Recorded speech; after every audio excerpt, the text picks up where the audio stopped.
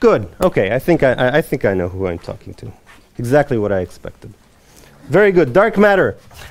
Um, new physics on trial at the LHC is the topic of the school. So it's uh, it's good to start with dark matter because dark matter is new physics, so there's no trial needed.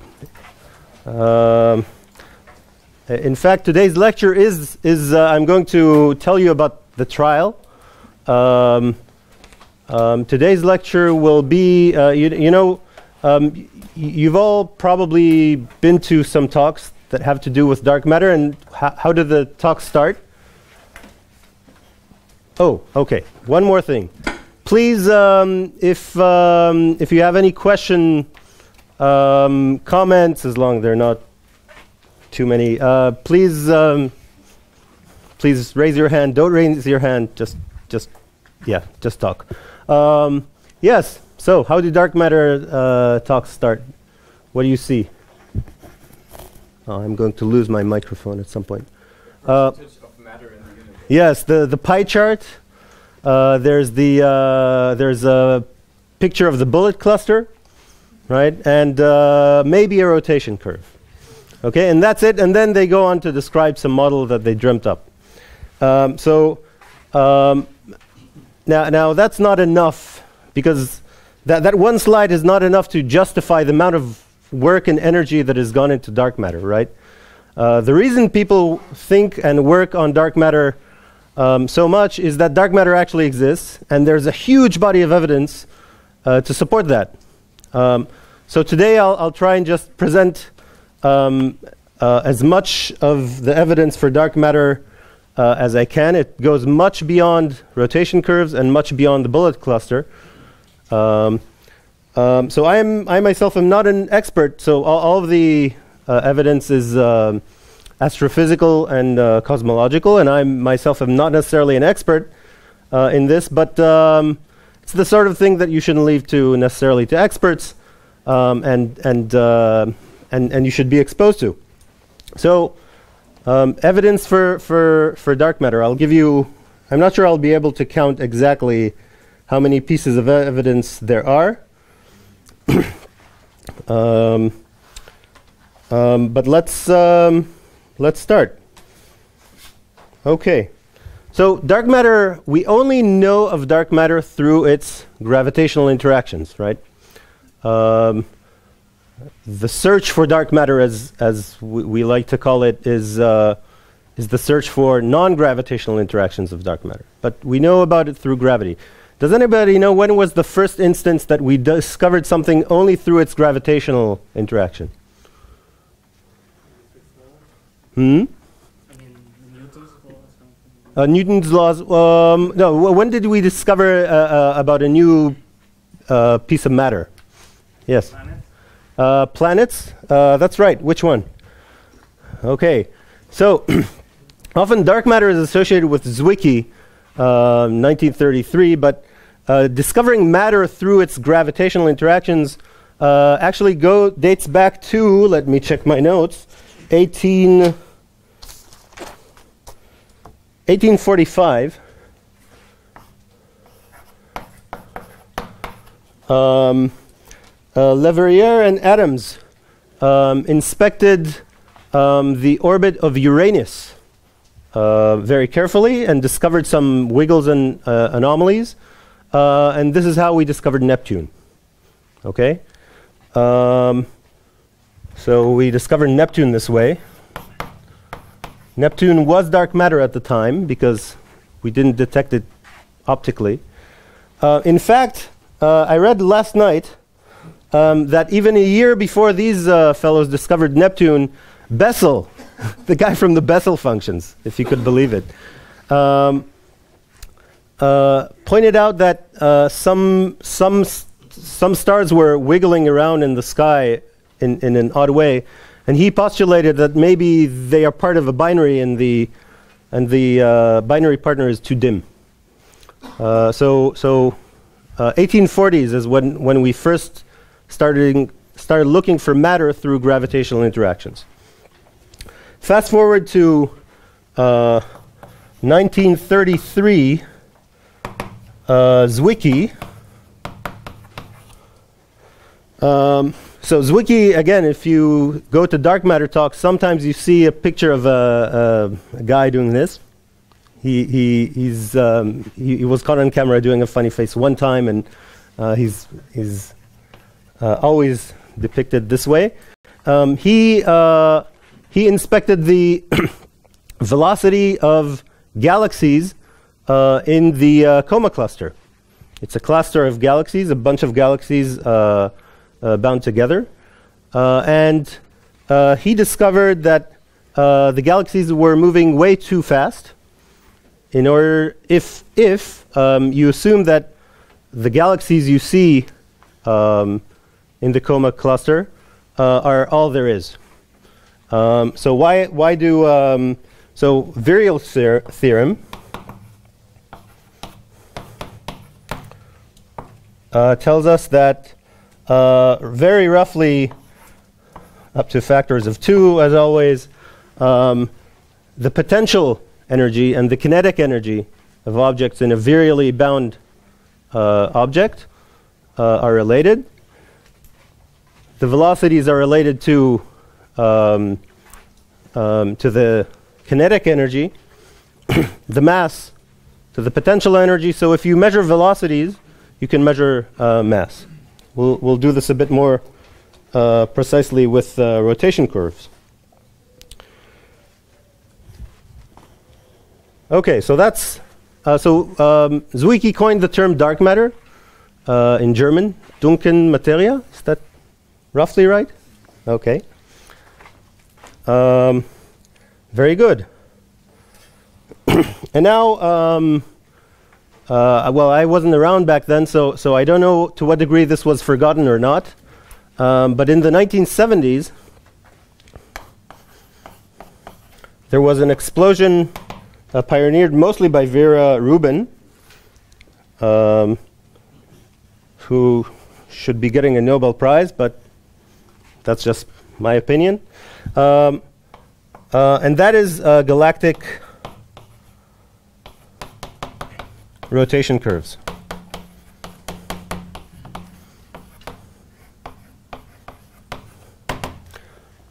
Okay, so galactic rotation curves. Uh, so I would consider this, this was all like uh, historical um, pre-trial motions, okay? Um, this is the first actual bit of uh, evidence, okay? I was just uh, um, uh, just playing around until now. So uh, what are galactic rotation curves? You take a galaxy. Um, so galaxies are often these spiral disks, um, like ours. And you look at it from the side. So here's the galaxy in this plane. So there's a bulge and a disk. Uh, and you uh, can study this galaxy optically and spectroscopically. And through uh, Doppler shifts, you can tell the, uh, the velocity of the stars in the galaxy in and out of uh, this blackboard on average. Okay? Uh, so you can study that.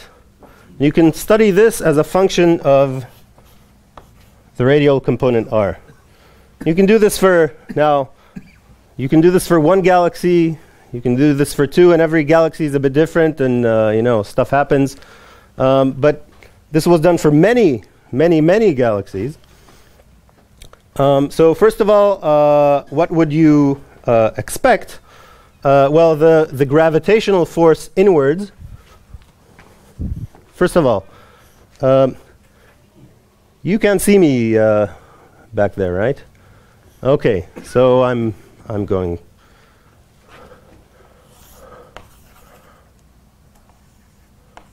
Okay, so we're measuring velocities in and out. um, well, the gravitational force pulling in is just the mass of the whatever is pulling you inside. So this is a function of r times the mass of the star. The star is a test, small test body Uh, we're talking about galaxies with uh, 10 to the 9 and above stars. Um, over r squared. Uh, and you set this equal to the uh, centripetal force. Uh, and then you, uh, you can solve for the uh, velocity, and you expect the velocity to fall like uh, 1 over the square root of r. Right? Okay? So if you plot this, this is a rotation curve now. You expect, well, here in the middle, the, the mass is still, this m of r is still picking up. But galaxies, what, what you do is um, you look outside the most, the brightest region. So galaxies shine light significantly within five kiloparsecs of the uh, center. A kiloparsec is uh, a thousand light years times three, I think. Um, uh, we're eight kiloparsecs from the center of our own galaxy, so we're really sort of at the suburbs of our galaxy. Um, so you look um, well outside the region where most of the stars are. So then you'd expect this m of r, assuming mass and light are correlated with one another, one to one, uh, that um, that m of r will stop changing significantly. It's the mass within this thing. Uh, so it should just scale like 1 over square root of r. Uh, after a region where it's uh, sort of fuzzy, you'd expect it to sort of go up like this and go down. And famously, you see something like that. So this is the no dark matter hypothesis. Questions? This is nice and simple. Um, Okay. Um, now, this was used in galaxies initially, many galaxies. These days, this is used in smaller galaxies uh, than our own, sort of uh, the so called dwarf galaxies, um, and bigger ones, so it's, it's at any scale. Um, one may ask, uh, how about us? How about our galaxy? Um, do we have uh, so maybe we're, we're, there's dark matter in all galaxies and we're um, stuck in the only one that doesn't have any. And then any search for dark matter, say using direct detection, wouldn't work. So do we have dark matter? Um, and it turns out that uh, yes, we do. Our rotation curves curve looks roughly like this. Um, and the way you do it, so um, as opposed to any other galaxy, um, we cannot step outside of our galaxy and uh, measure it from the side. Uh, well, some galaxies don't face the right way, and then we give up on them. Um, but ours we give up on from uh, day one. But you can do other things uh, and look at. Um, there have been uh, surveys for the 21 centimeter line, um, which is um, a faint line in, in uh, that comes from hyperfine splitting in, in hydrogen. Um, so we can measure that very accurately uh, with spectroscopy, do a Doppler shift uh, map of our galaxy, uh, and people have, have produced a, a, rotation curve for our galaxy. So we, we also have dark matter. From um, we also have a flat rotation curve. Okay, and from this we, we learn that this is flat. So we said this is 5 to 10, let's say 10 kiloparsecs. Out here, this stuff. Um, hold on, Gopi.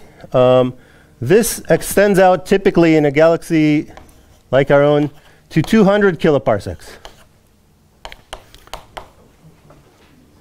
Yes? Is, is the 21 centimeter line the only evidence that they, that they measure for to, to match? No. Right, so th there's no. Um, I think it's the only way. It's the only way in which I know of where a rotation curve was produced for our galaxy.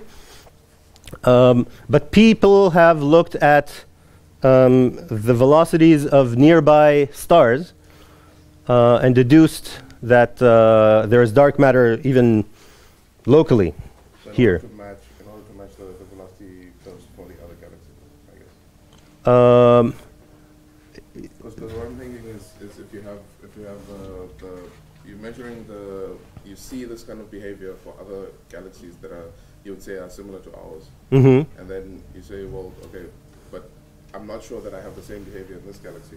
Right. If I, if I, if I measure stars uh, around a certain way around my galaxy, um, then I can match them to other, other, other galaxies and I can sim- predict a similar behavior. Or is that unnecessary? I think that's unnecessary. I think a curve like this was produced for our galaxy um, with, without any reference to any other. Uh, and in addition, um, this, uh, this measurement of the peculiar velocities of, of neighboring stars, um, which I will not tell you about beyond this, it's, it's sort of a, a recent measurement. Um, um, that is also, as, as far as I know, independent of, of just about any other galaxy. So, yes, we have dark matter. Yes? Uh, why is there like a cutoff at some R? Oh, um. Uh, there should be a tail. The tail, now obviously, the problem is that you start running out of stars. The, the, the way you, you, you, you use to measure this is the, the straddlers that, that are not part of the, the bulk of the mass here. But there are a few stars out in the outskirts, and you can measure those very precisely and see how far it goes. So using this method, um, it's just flat as far as we can see. Um, now, obviously, it ends. Uh, uh, no, if it didn't end, then then it would be just dark matter everywhere in the universe, connecting galaxies, and then dark matter wouldn't. Um, well, we, we know that dark matter clumps. Um, so a clump uh, begins and a, a, a clump ends, and we've seen it end using uh, other other methods. So so don't worry. Um, um, yeah, so we know it extends up to uh, 200 uh, kiloparsec-ish. Uh, here you simply run out of uh, statistics. Okay, so 200. So that means a good representation of a galaxy really is, let, let's draw it here. Uh, here's a galaxy, and this is its halo.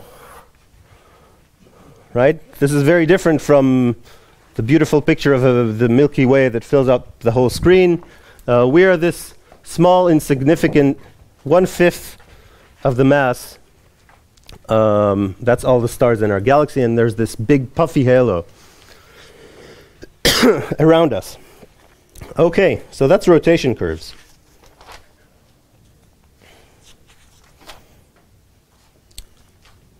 So that's, I would say, that's evidence number one.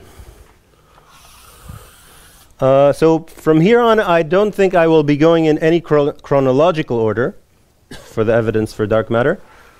Um, let's uh, let's keep try and keep track of count.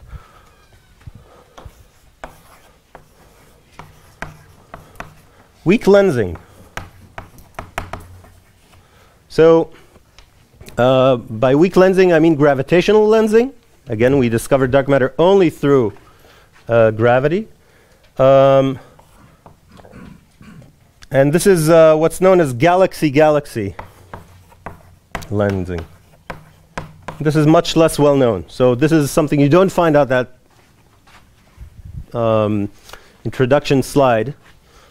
Um, um, and okay, let me. So lensing is the idea, the notion that um, if you if you are here looking out into uh, into space, and there's a source mass here. This is the lens. Sorry, this is not the source. This is the lens, uh, and there's a source here. Uh, so if there was perfect alignment, uh, famously, um, what you will see is instead of this source being a point, um, its light rays would be uh, bent. Uh, and if there's perfect symmetry, uh, this will look like uh, a ring, right? Uh, but if there isn't perfect symmetry, uh, it will look like several rings. Um, so this is what, what is known as strong lensing, and it's not necessarily what I'm talking about. Um, weak lensing is the case where this is uh, the the lensing effect is so weak that uh, you see uh, just one copy of your source. So if if this is uh, now where the lens is, uh, you see just one copy of your source, and instead of being uh, but but instead of being completely round, it is somewhat squashed and and and sheared. Okay. Uh, so so this is if you imagine deforming this point into the ring that eventually it would be in strong lensing, this is just the beginning of it, the perturbative version of it. Okay, so um, uh, now this is obviously uh, has to do with the mass of this lens. Okay, so what do you do? Um, you uh, well now luckily the space is riddled with galaxies, so there are many galaxies around. There are different ones. You can tell from, from many things. Um, and you can measure how, um, how sheared um, these galaxies are. And I'm going to be very heuristic about it, um, for the most part, because I don't do this for a living. So um, I'm not very familiar with the details.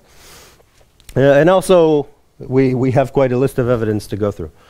Um, now, of course, every of one of these galaxies has its own funny shape, um, and it's oriented in a very particular way.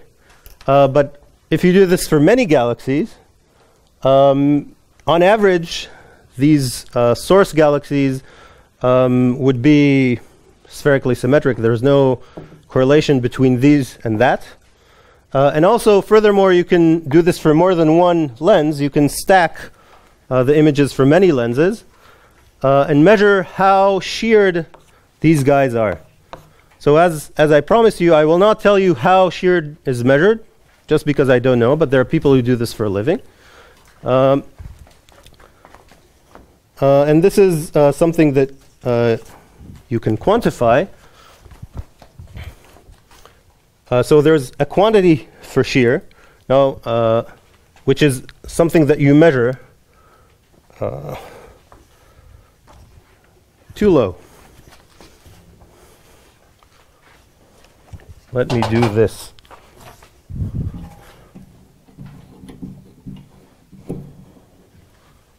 Haha. Excellent. So the shear is something, the left hand side is something that you measure. Uh, the right hand side is, well, what you need to do is you need to integrate, um,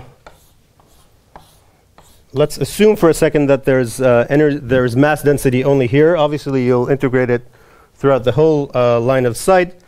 Um, and you assume that there's some uh, mass density rho um, along the line of sight, and you just need to integrate that okay, uh, along this uh, line of, line of uh, sight. This is something called the th that is called the uh, surface mass density. So it has units of mass per area. So it's really the amount of mass that the light goes through per area that you uh, see. So this will eventually scale like, uh, well, let's just cutting through the chase in the interest of time. Uh, this is really going like the amount of mass within this region, uh, m of r. So this reminds us of the m of r from galactic rotation curves, uh, divided by uh, r squared. Okay, this is this is what. Uh, now, of course, this depends on how I define shear, uh, but this is this is the, the the shear that is defined in this field. Uh, and then you can uh, see how this also behaves as a function of, of r. So you define a measure for how squashed galaxies are, um, and you go along from the center uh, on out. Uh, this, by the way, doesn't need to be invisible. There are stars here in, in, the, in the lens. Now, again, just like the rotation curves, you can make the hypothesis that there's mass only where you see light, which is very near the center of the galaxy. So you would expect this to go like um, most plots that I will make are log log without me telling you. Okay, so assume that. Uh, you'd expect the slope of minus 2. Uh, and uh, do I have the reference here? No, I don't have the reference. Um, I owe you if, if anybody wants to see a plot like this, uh, let me know, I'll find the reference. Um, but but the, uh, the data is significantly flatter. Okay, again, like rotation curves, this is telling us that there is more mass here than, uh, than, what, you, uh, than what you see. Okay? Um, so that's weak lensing. Questions about we- weak lensing? Yeah, so sorry, big R is just a radial distance. Excuse me? Big R is just a radial distance. Yes. Um, and big M is just the amount of matter that's all the way from the observer to the object. Or Um, yeah, I haven't defined it properly here. Uh, for the sake of, of this, it, it will be um, the amount of mass. So if, if I define um, other way around. Ha. Um, so now if I'm looking at, at the lens, um, I define a cylinder around it of radius r, it is the amount of mass inside that cylinder. Um, integrated along the whole damn line of sight, but that is, in, in, in these uh, cases, um, in, this in, in this perfect case of just this guy, uh, this is uh, highly dominated by the lens itself. Now, people that actually do this need to take count, need, need to take uh, uh, into account all the other crap around, but that's uh, how it's uh, defined. Okay.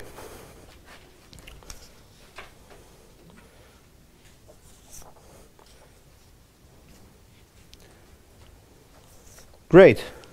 So now I told you about uh, galaxies. Um, so this was again, this was the case. Um, there have been studies where this this lens is a galaxy. Uh, how about um, other scales? So let's talk about clusters. Uh, so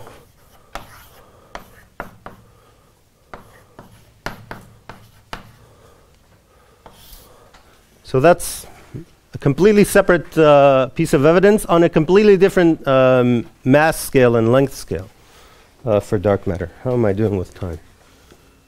Ooh, terrible. Okay, so uh, clusters are clusters of galaxies. Okay, so it's a group of 10 or more, uh, 10 to hundreds to more galaxies uh, that are that we know that they're close together. They're not moving uh, away from one another very quickly, so they must be gravitationally bound to one another. Okay, so it's this. Um, it, it's a it's a uh, it's a collection of galaxies. Uh, now, remember Zwicky from 1933? Um, that was a cluster that he looked at. So we already have like uh, circumstantial, lame sort of evidence. Um, I mean, Zwicky wasn't lame. It's just that he didn't have the technology.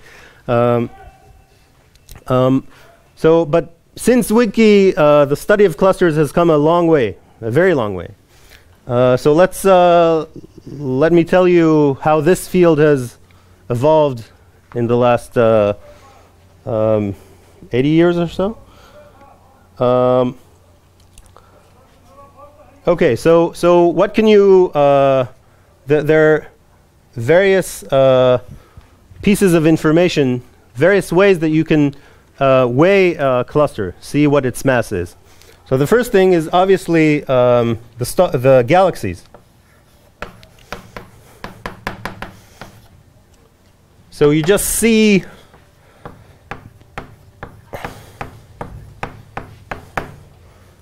a collection of point sources, if you like. Um, now, once you, um, now that, that's the that just accounts for how much light you see, and then um, in order to convert this to mass, you need um, a parameter that probably goes into a fit, which is uh, the mass to light ratio, um, which which can be different from cluster to cluster, but but uh, there, there's some number for um, for sanity. So that's one uh, bit of information you have. Um, you also have uh, gas. Um, so in between the galaxies, there's a lot of gas that never fell into a galaxy. Um, but because it's in such a, a big object, it is has has fallen into a deep potential well. It has gained a lot of energy and it is hot. Okay, so the, the gas clouds in clusters are hot, and that means they uh, are uh, somewhat ionized and they emit X-rays from Bremsstrahlung.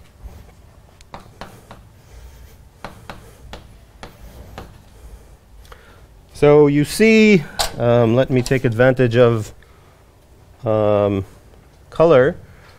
Uh, you see, in addition to these guys, in the same place, you see this uh, schmear of uh, of X-rays, a blob of X-ray, um, which you used a different instrument to see, um, and that tells you also about the mass that uh, lives in here. Obviously, a more massive uh, cluster has more gas in it.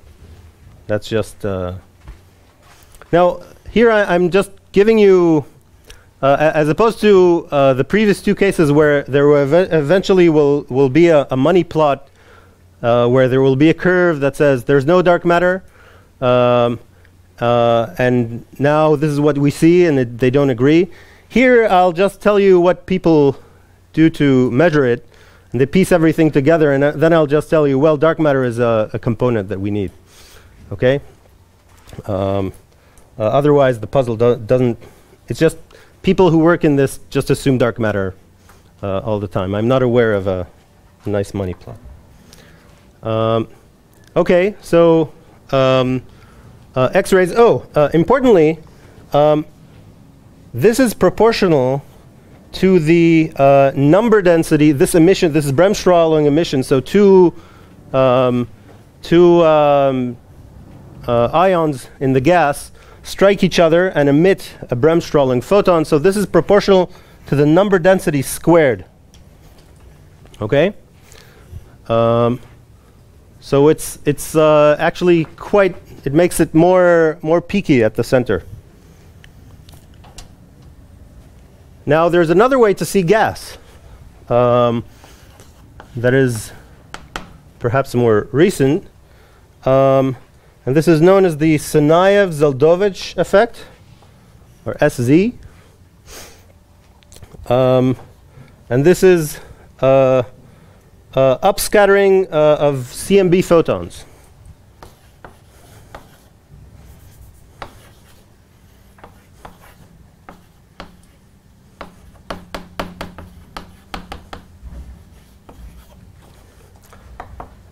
Um, also known as inverse Compton, IC in, uh, in Astro papers. Uh, so what's going on here? Um, well, this cluster lives inside our universe, which um, has a background radiation of cosmic um, um, of, of microwaves, right? And we've studied that to death. Um, and uh, if a CMB photon goes through a cloud of gas, um, it can, with high probability, uh, scatter onto one of the atoms and get a little bit of uh, extra energy from it. So that's inverse Compton scattering. Um, so this, you can see, it, it, I, I, I- think I remember the first time this was observed, uh, I believe in the either late 90s or, or uh, uh, 2000s in the CMB. Uh, so you could actually observe, say, there's a cluster um, just by looking at the CMB, which is sort of amazing. Um, but these days, uh, you can just people look at the CMB and say, oh, cluster there, there, and there. Okay, so uh, this has, has come quite a long way. Uh, so here you also see a smear of uh, upscattered uh, photons. If this is too low, you didn't miss anything. It looks very much like that.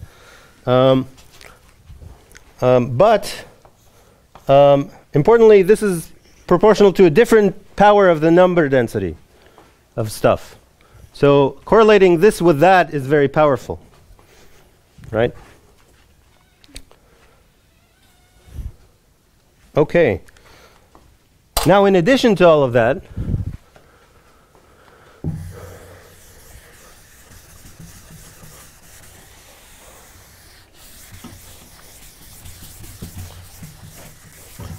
Oh, I have this guy up here. Um, in addition to these three bits of evidence, there's also weak lensing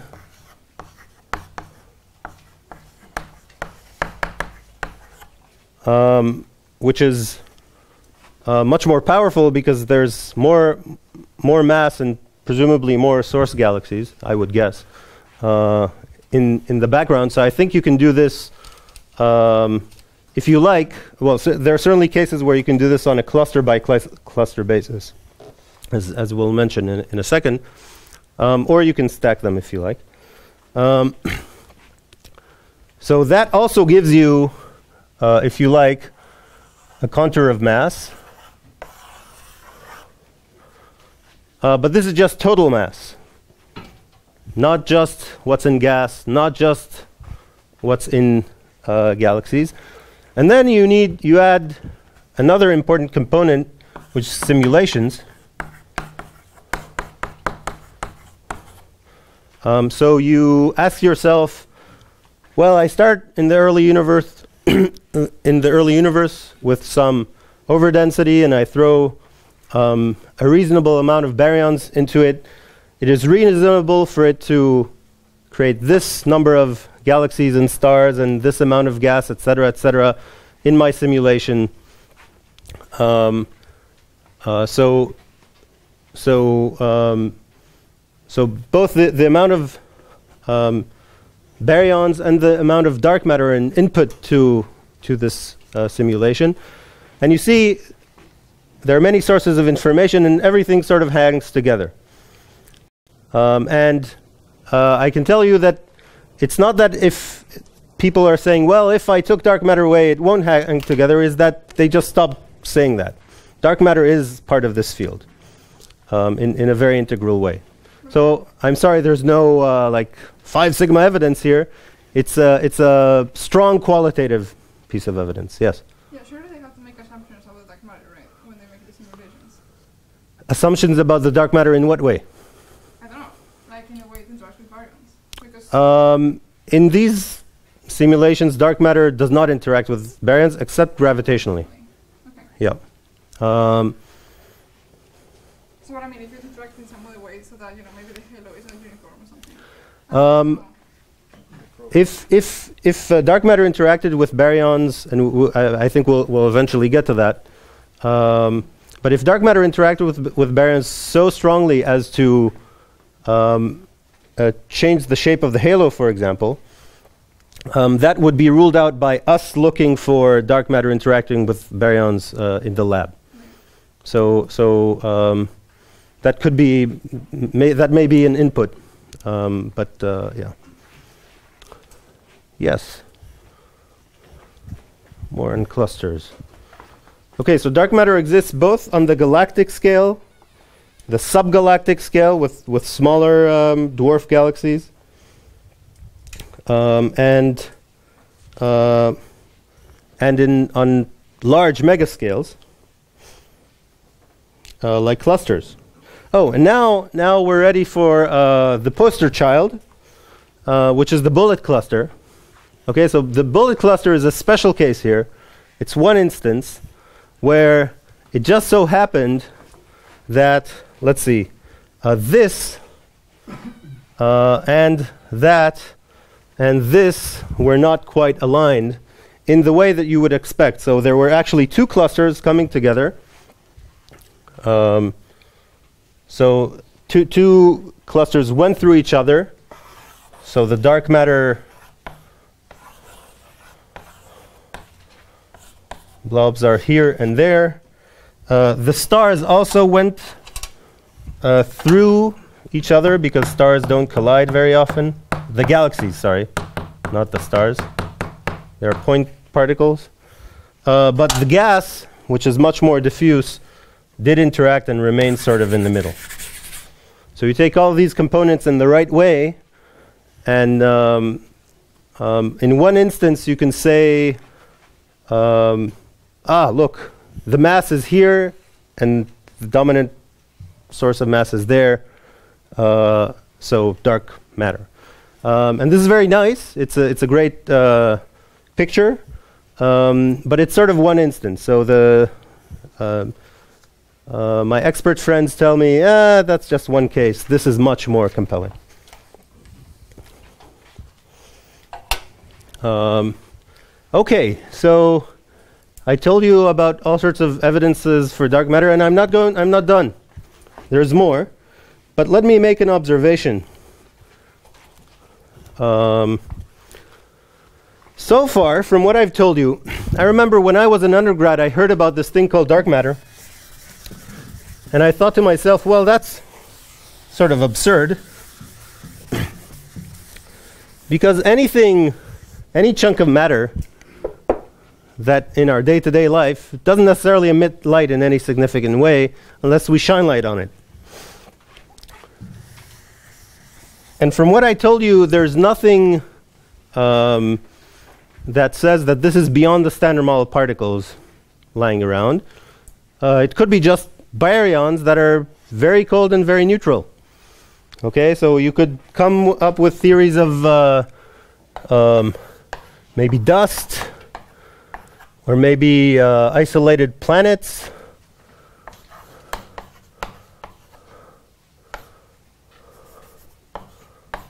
Like little rocks flying in space. you can think of anything. Um, uh, you know all the socks that uh, get lost in the washing machine? Where did they all go? Maybe that's the dark matter, okay? This is the uh, a theory of lost socks, dark matter, LSDM. Okay? So, um, can we, maybe it's LSDM. Can we rule that out? Yes, absolutely. Absolutely. This is, th these are all bad uh, dark matter models, and let me tell you, there are many reasons why. um, uh, let me tell you about them. Um, so, I think we're at four, right? Um, the CMB, not CMS, Freudian slip. My LHC um, side is showing the CMB. So now we're going from, from galaxies to clusters to even bigger than clusters to the whole damn universe. Um, so the CMB, uh, well, you know, it's this microwave background. We've studied it very well, and we've measured the power spectrum. Um, and again, I'm, I'm not going to describe in detail how dark matter affects um, this famous plot. Um, but um, I will give you, um, I, I, will explain why it has a, a, a, good reason to, to affect this. Okay, so, so um, first of all, what is this plot? This is the uh, amount of power uh, that we see on different uh, length scales. Well, in, for the case of the CMB, it's not length scale, it's angular scales because we only see a, a 2D map of the sky. Um, but um, you can translate um, an angular scale in, into a length uh, scale. Um, uh, so really uh, what this is, is um, uh, you take two points in the sky that are separated by a, a particular angle. Uh, this angle is roughly 1 over L. Okay, an angle theta. And then you um, look at the temperature of the CMB at two points um, at well at point zero and at point theta. Okay, so two points that are separated by an angle theta apart. Um, so this gives you a two-point correlation function. You can do this for the whole damn sky. Um, so that gives you that's a correlation function, and then you Fourier transform it. That's why it's one over here, um, and that gives you this plot. Uh, now, where do these wiggles come from? Um, well, in the early universe, hold on, let me make sure um, um, I'm not missing anything. Good. So uh, the CMB was emitted when uh, the universe went from being um, ionized, the atoms were ionized, to being completely neutral. Okay? Um, so the relevant physics is the physics of the plasma right before recombination. Even though it's not clear to me why they call it recombination because it was never combined before. So right before combination, maybe. But I'll, I'll use recombination. Um, uh, good. So, so that plasma um, had all sorts of um, uh, forces acting on it. Where's my page of? Uh ah, yes. Um, so that plasma primordially had all sorts of um, uh, fluctuation, density fluctuations, and temperature fluctuations in it. So uh, this is, uh, and I can Fourier decompose the, the, those fluctuations. Here's short wavelength, long wavelength. Okay, and you know the, the real answer is something like this, and then I can Fourier decompose it into these plus those plus uh, all the other ones.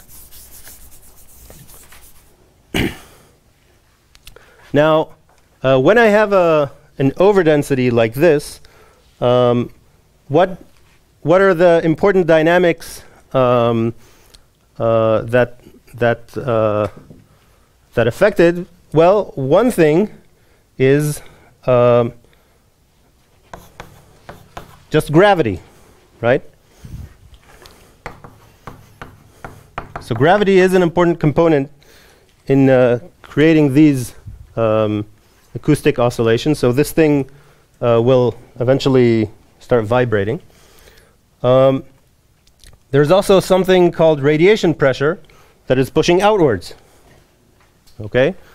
Um, and so these things balance and there are oscillations um, at all these length scales.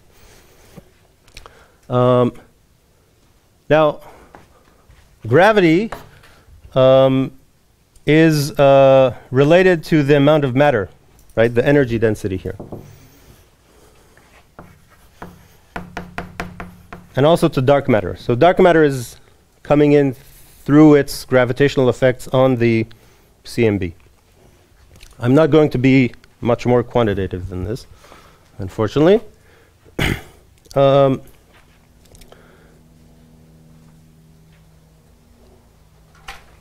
uh, good. So now, um, so what are these features? So it seems like there's more power at a particular scale. So this is the dominant feature, this, this first peak. Where's that coming from? That is coming from, so let's say it is this scale. So there seems to be a little bit of a resonance going on here. Uh, so th uh, the wave that is in this scale is sort of put in a, in a box, uh, or it's like a, a, string with a, a, standing wave and it is uh, resonating at this frequency. And the relevant frequency is the frequency that these interactions, these uh, radiation pressure interactions can act causally, right? So this, this uh, wavelength is in a box. It is a wave in a box. The box is uh, the speed of sound. Okay, it's how far uh, such waves could have traveled since the beginning of time um, uh, causally, right? So this is the sound horizon.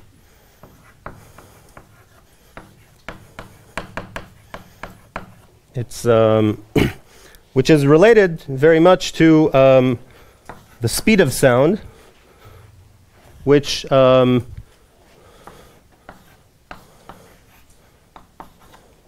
turns out to be roughly the speed of light divided by square root of 3. Um, don't ask me why. Um, however, um, if there are baryons interacting that interact with the plasma, non-gravitationally, this speed of sound is actually smaller. So the, sp- the speed of sound is related to the um, baryon density.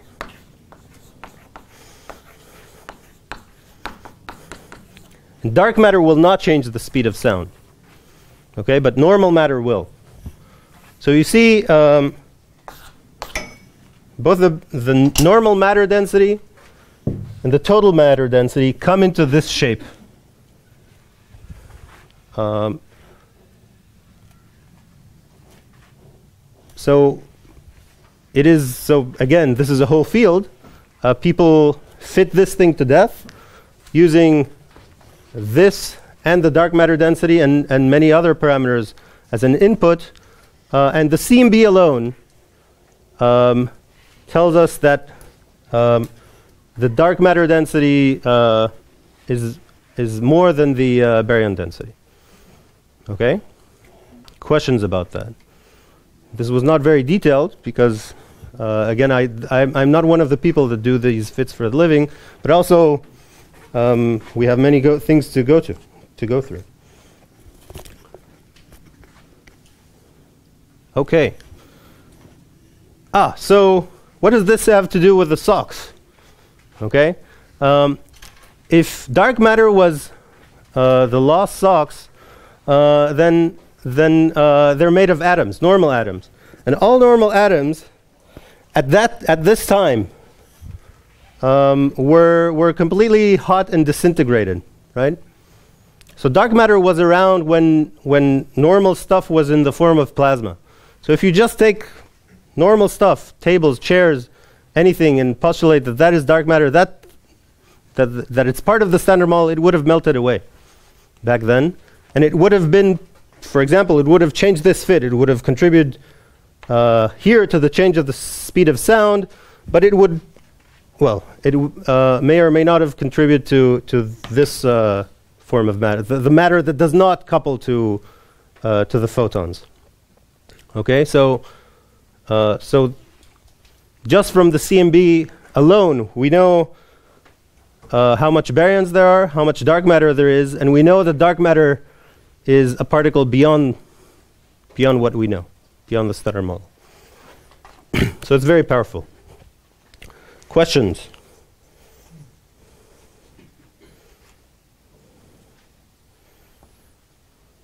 Ooh, I need to hurry on.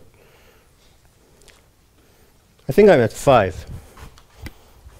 So if you haven't noticed, the um, in this trial, the, the, the, strategy is to shock you with uh, shock and awe with with uh, many many many evidences for dark matter, so that when you go home to work, you're bothered that dark matter actually exists. This is not just something that people tell us in the first slide of talks.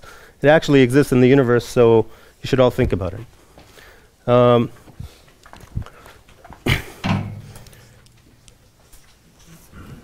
okay, another um, reason we know that there is dark matter. So this is number five. I think it's five. Uh, is the something called the matter power spectrum.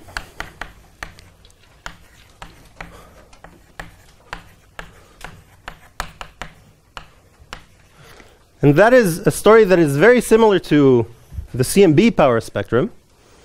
Um, only the thing that you're measuring now is not the temperature of the CMB at different angles, uh, but it's the uh, density of matter um, at different locations. So it's more of a 3D, has more of a 3D feel to it.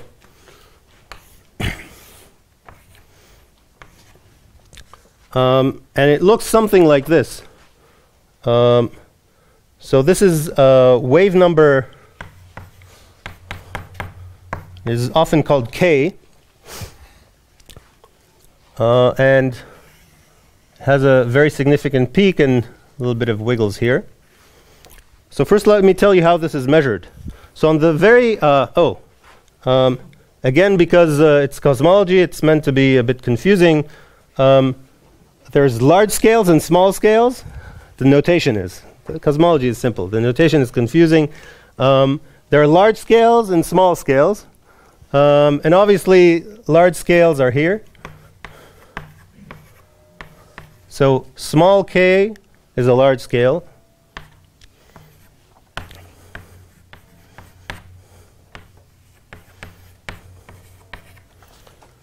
Very good. And uh, where, so this comes, well, the CMB is the largest scales. And then there are clusters, cluster surveys. And galaxies.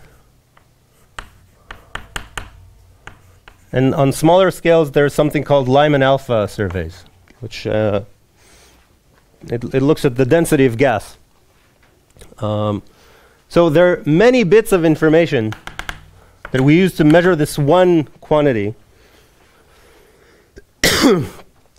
um,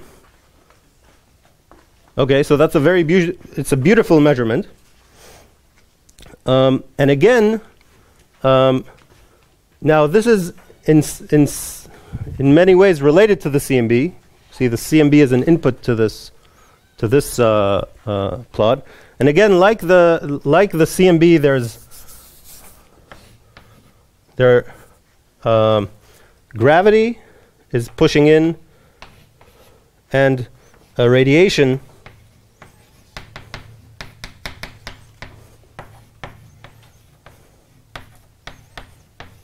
radiation pressure is uh, pushing out. Now, in order to, um, the main feature in this plot is again this this peak. Uh, and we can understand um, the, the location of this peak uh, is very much related to, um, to the dark matter density. So let me again uh, show you a cartoon of why that is. Um, so uh, again, the, the time in question is, um, um, or more precisely, uh, this peak tells us the time at which uh, matter and radiation were equal in the universe. Matter radiation equality. Very briefly, um, I'm sure you've you've seen this. Um, if we look at the um, uh, history of the universe, um, in the early times, radiation dominated. So this is energy density and it's scale like uh, 1 over a to the fourth. a is the scale factor. Um, and in later times, um, matter dominated. Matter only scales like 1 over a cubed. Um, so this is rad and this is mat. Radiation matter. And obviously, obviously, this time of matter radiation equality is sensitive to how much matter there is. Okay, so if I measure this time, I measure how much matter and thus how much dark matter there is in the universe. Um, so in order to uh, understand uh, how this comes into this plot, we need to understand how, um, how the power spectrum, how these perturbations grow um, at the time of um, uh, at these times. So this time is is uh, simple. Everything just matter dominates. Matter is uh, is king in the universe at at later times. So overdensities simply grow. Radiation has so this this radiation pressure is not very important. Um, well, it is in some in some instances in the universe, but in the grand scheme of things, it is not. Just gravity does its thing. So, um, but um, uh, in the uh, in the uh, earlier time when radiation uh, was dominant, then so radiation doesn't clump very well because it it's if if there's an overdensity light particles uh, uh, fly out. Um, and, uh, well, baryons just um, baryons cannot decouple from radiation, so they they they're, they're um, they don't clump at all, essentially, because um, um, electrons um, just every time they they they, they want to go somewhere, a, a photon knocks them and uh, pushes them some other way. So if if the photons don't clump, the the electrons will not clump uh, either. Dark matter, in principle, can clump uh, during radiation uh, domination, but it doesn't clump very well either. Um, the reason is that the universe is dominated um, gravitationally. The, the, the, the energy density, which is what gravitates, is dominated by radiation, which doesn't clump very much. So dark matter also, to some degree, follows the radiation around and doesn't clump uh, very much. So radiation pressure affects dark matter as well, but only in the radiation-dominated era. Okay. Now, this, um, the same thing that happened in, in the CMB case um, happens here. Radiation pressure is very effective at preventing clumping, but only up to some scale of, that has to do with the sound horizon. Or the, people call it the Jeans length. It has to do with the same Jeans length that shows up in astrophysics, if, if uh, you've heard of that. So, um, um,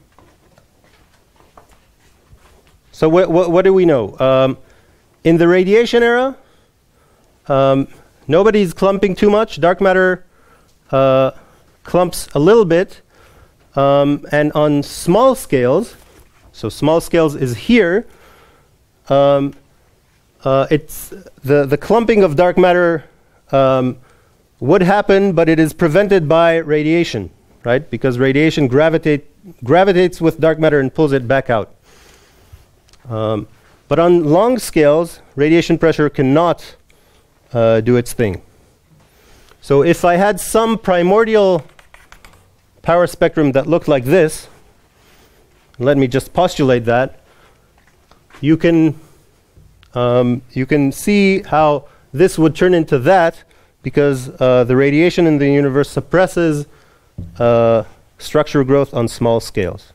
Okay, this was a bit quick, but this is uh, um, the cartoon, and I, I would urge you to look it up. Um, in any case, uh, the, uh, the, the place at, at, which this, uh, this mechanism of suppressing scale ceases to be effective is when radiation cannot act causally anymore, right? This sound horizon story. Okay? So this tells us this, this length, this is a length scale. This wave number, inverted, it's a length scale. That length scale is the sound horizon at matter radiation equality. So by we're measuring this peak at matter radiation equality. Uh, and so we're, we're sensitive to uh, the amount of dark matter.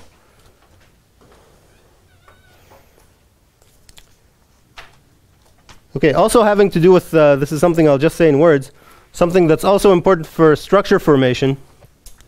One other bit of evidence for, so this would be maybe 5 prime.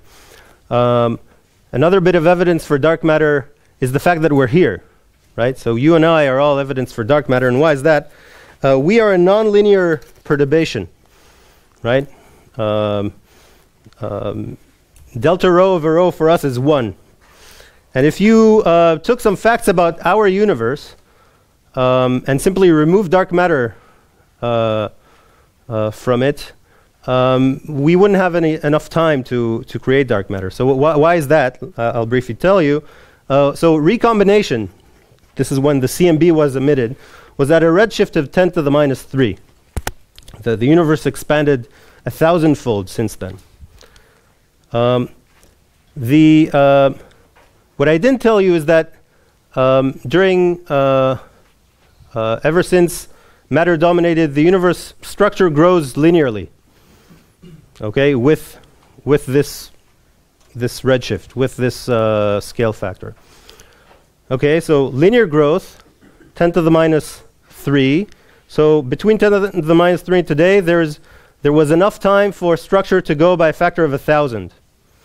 Now let me also tell you that um, the, um, the starting point for this quantity, the of of, uh, of perturbations, uh, uh, is is 10 to the minus five.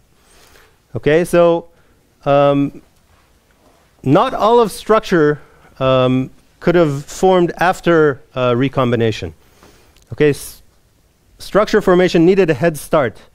And in order to do that, you need matter that doesn't couple to the photons, because baryons do not clump at all um, before recombination. So, uh, recombination and matter um, radiation equality are near each other, but they're very different physics.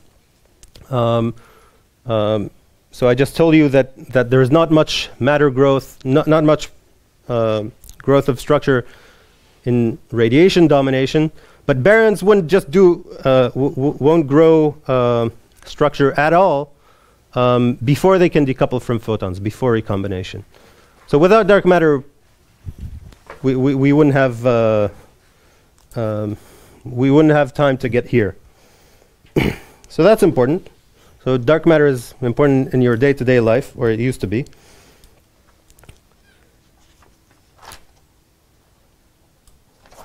Okay. I'm seriously considering skipping one, one bit of uh, information. I'll, okay, I'll, I'll do it. I'll say it very quickly, which is Big Bang nucleosynthesis. um, so Big Bang nucleosynthesis is um, is uh, the, the the process which brought about all of the heavy elements. Well, sorry, not all of the heavy elements. Um, the the heavy elements that did form in the early universe. So the abundance of um, hydrogen, deuterium, helium, nucleosynthesis, and it's just the um, um, now. Again, I, I'm, I, I don't have uh, time to uh, go into it in gory detail, but what you need to do to uh, understand nucleosynthesis is throw some hot matter into uh, a pot, very hot matter, more than MeV of temperatures, um, and then let that pot ex- expand at some rate. Uh, and the expansion rate is um, a function of the energy density. So that's, that's just it. And then ask do, do some um, um, reaction rates calculations with appropriate Boltzmann tails, um, and, um, and you'll, you'll get some abundances of nuclei. Now that sounds simple, but it's, it's really not, um, which is uh, uh, why I'm not uh, um, go- going to do this in, in great detail. I, I want to tell you some stuff we know about dark matter before we end for today. Um, but um, you can imagine uh, uh, that the what, well, what's really important? The, the, the important things are uh, the cross sections for two nuclei coming together uh, and having a nuclear interaction and changing from. Uh, so, for for example, two protons coming together and turning into deuterium, a nuclear interaction. Um, two deuteriums coming together, forming helium. These cross sections are all uh, input.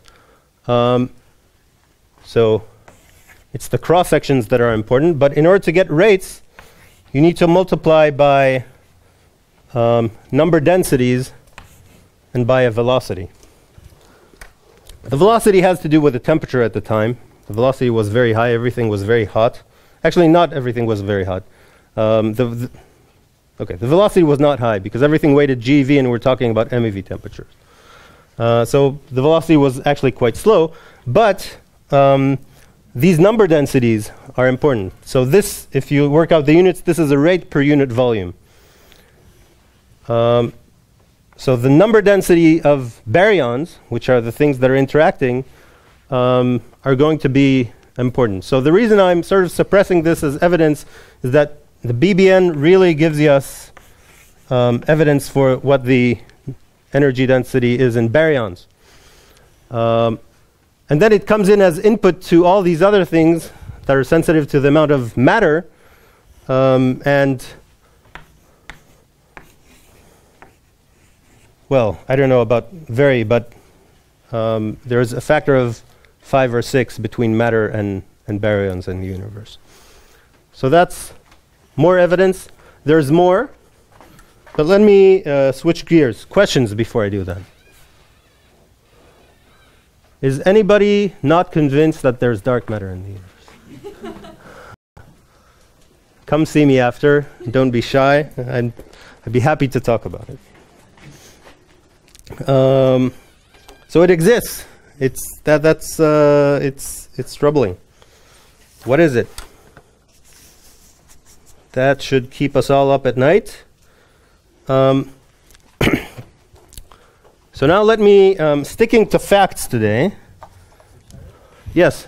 So we probably should like make a remark, something this all under assumption that general relativity works, you know, at this at all scale. Oh yes. Um, Kind of probably. yeah, I'm assuming general relativity works on all scales. Yeah, Um, yeah. Okay. So so let's let's uh, okay. Um, let's mention MOND. Okay. MOND is modified Newtonian dynamics, and that is the assumption that general relativity does not work at all scales. Um, and that was invoked to explain evidence number. Is it still on the board? No. Uh, or may- maybe it's it is back there. Um, that was invoked in order to uh, explain rotation curves away. Oh, this thing. Evidence number one. Um, so that just modified the laws of gravity, uh, so that bit was erased.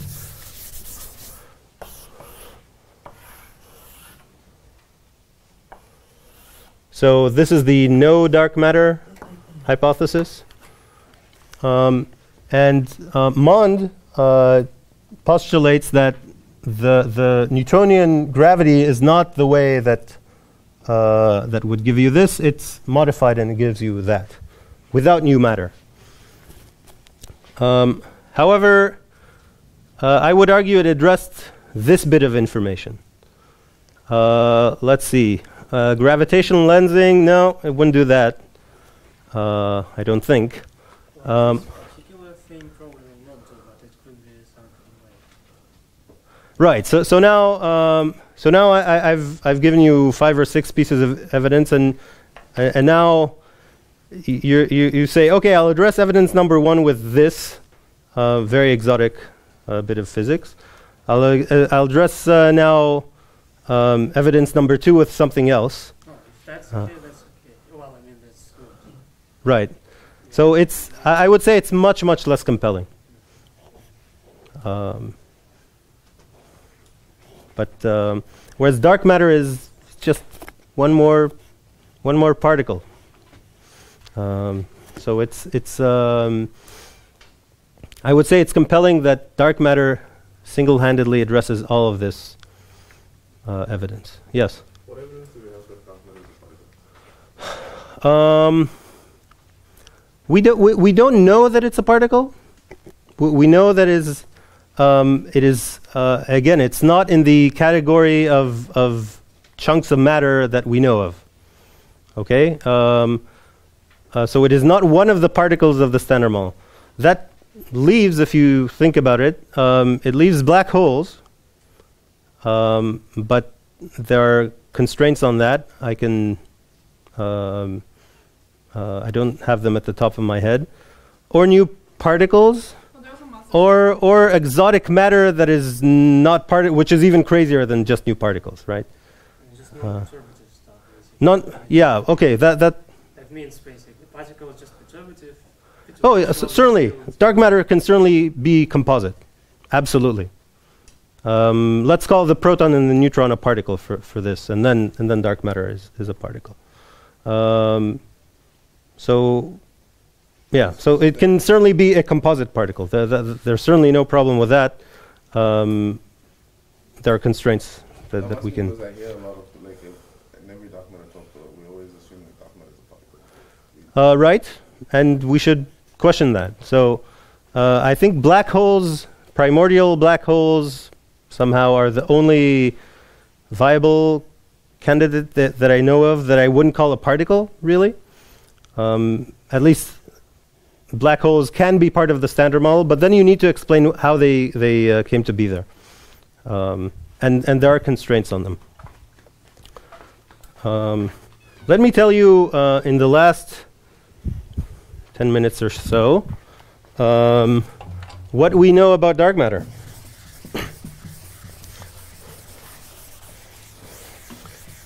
So all I told you so far is that it exists, but let me give you a list of things we know.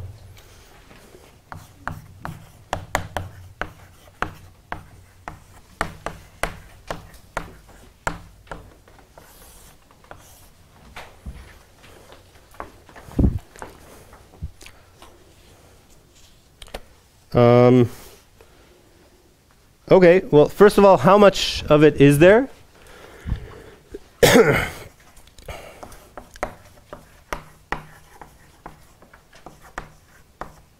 Well, it's uh, of order uh, 23%. I, I never follow the exact numbers uh, of the universe, of the uh, energy density of the universe. You've seen these uh, pie charts. Um, and the uh, uh, dark matter to uh, baryons to standard model stuff is of order 5 ish. Um, so these are both of these numbers have been strong input to model building, uh, and we'll get to particularly this one next time. Um, but also, it's it's somewhat surprising that this number, this number could have been anything, 10 to the whatever, um, either plus or minus 10 to the plus 5 or 10 to the minus 5. A priori, this could have been, um, but um, but it's a number of order one, which uh, some people uh, find intriguing. Well, I find intriguing, um, and I'm happy to dismiss it on some days. Um, let's see, what else? Dark matter, uh, right, just looking up some numbers. Uh, it is dark. Dark matter is dark. So, uh, not charged. Uh, the charge of dark matter is uh, from constraints of, of halo dynamics um, is uh, 10 to the smaller than 10 to the minus 6 um, for a dark matter mass of 10 GeV. And it's 10 to the minus 4, as I've looked up, for 10 TeV. Um, why is it a function of the dark matter mass? Because um, we know how much dark matter there is, so the number density, if, if I increase the mass, the number density uh, needs to go down to compensate to keep the energy density fixed. Um, so dark matter is uh, not charged, barely charged, if at all. Um, it also does not interact with itself.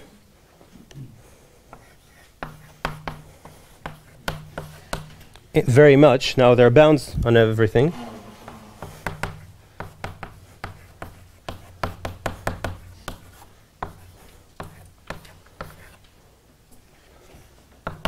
So the cross section, again, let me make sure I'm uh, not cheating, is less than 10 to the uh, minus 22 centimeters squared. Uh, and this is for 100 GeV dark matter. This is coming again from um, from things we know about the uh, shapes of, of halos. This is actually not a very small cross section. If you feel free to convert it to barns or uh, pico barns or whatever. Um, so this is this is so dark matter could be composite quite big and in interact geometrically so long as it's smaller than this. Okay? Um, and in fact, there are anomalies um, um, that have to do with um, the shape of dark matter halos near their center, cusp versus core, which I may or may not uh, get to, um, um, that are evidence that maybe there is some uh, interaction, right? Here's an expert. Ask him. Yes. I heard you give a talk about this, right? Yes.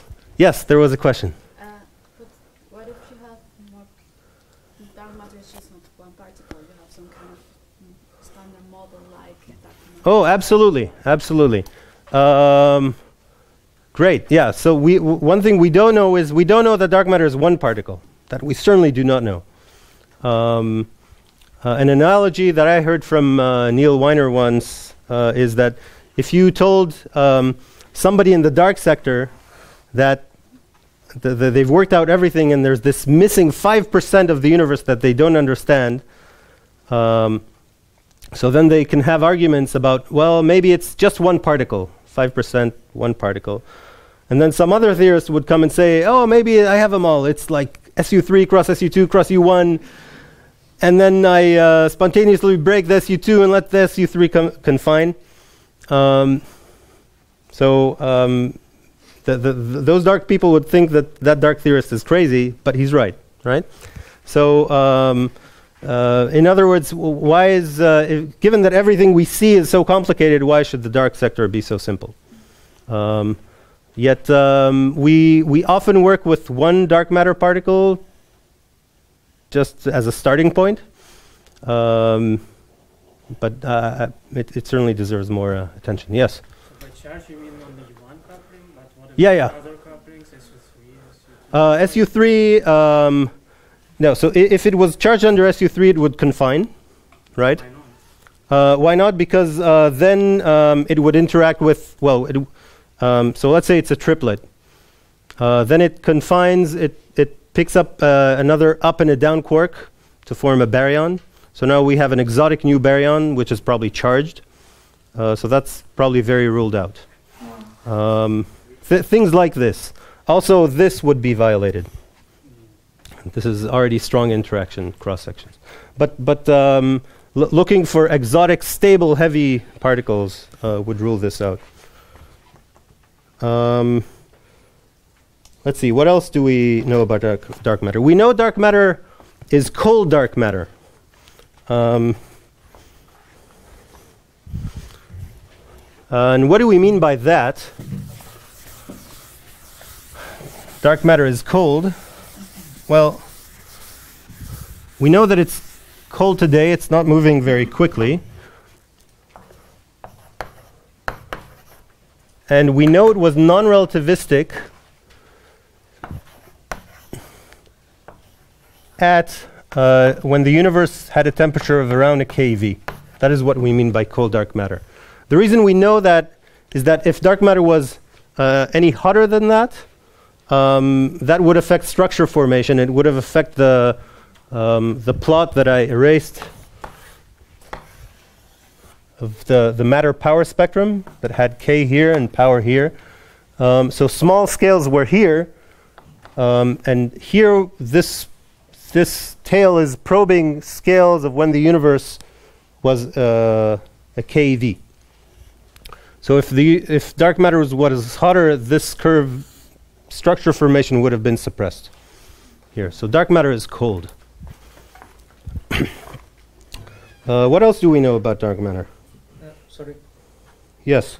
Uh, how axions uh, avoid this argument? Uh, dark, um, they're cold. I didn't say that they're uh, heavier than a keV. Um, uh, th- they're just uh, non-relativistic. When our sector in the universe was a keV temperature, um, if if dark matter doesn't interact with us very much, it is not in equilibrium with us, uh, then it can coexist co- as, as a cold um, population while we are hot. Okay, while we are this hot. And that's how axions get around this. Good question. Um, and I, I'll, I'll discuss axions a little bit more uh, next time, hopefully. Um, let's see, what else? Uh, the lifetime.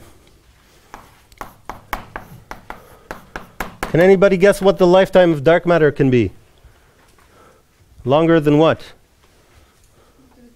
The age of the universe? That's a good guess. Um, it turns out, so that, that is certainly true, because, but if, if dark matter had a lifetime of the age of the universe, Earth, it would be sort of decaying now, right? And we would see the decay products. Um, so um, if you just look at, um, however, there's a ton of dark matter uh, lying around, and we look at the sky, we don't see it glowing from dark matter decays. Uh, so just um,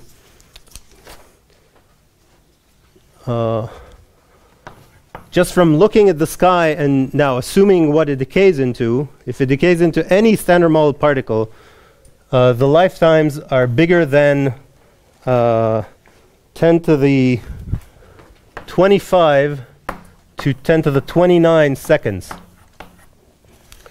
Um, who remembers what the age of the universe is in, in seconds? 10 to the 10 to the 17. Okay? So this is much longer than the age of the universe.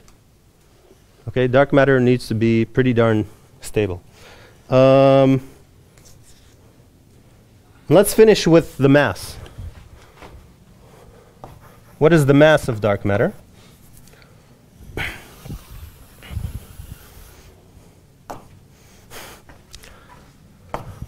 Uh, actually, I don't want to end this here.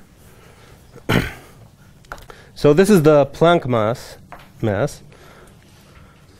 So dark matter could be. I mean, if it's a particle, it conceivably it could be anything with masses up to the Planck scale.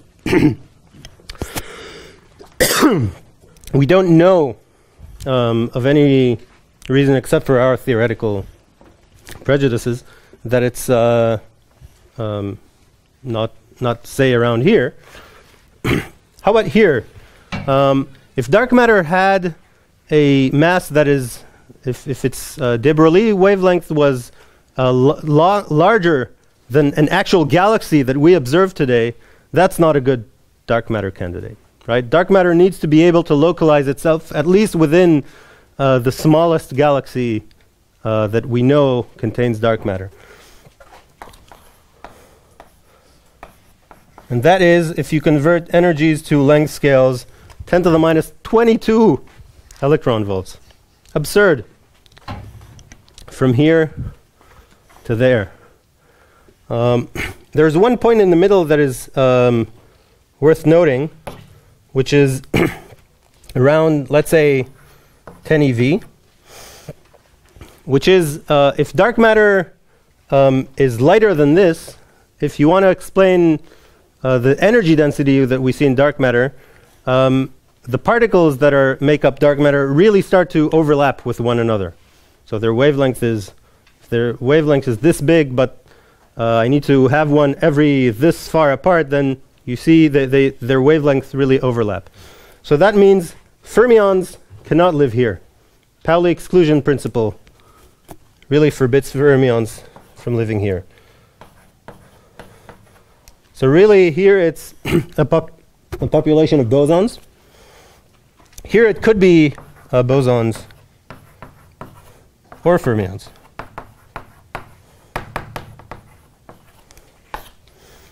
Um, beyond that, we don't know, and, and um, most of the activity has been around here. Few to, um, I'm not sure I was accurate.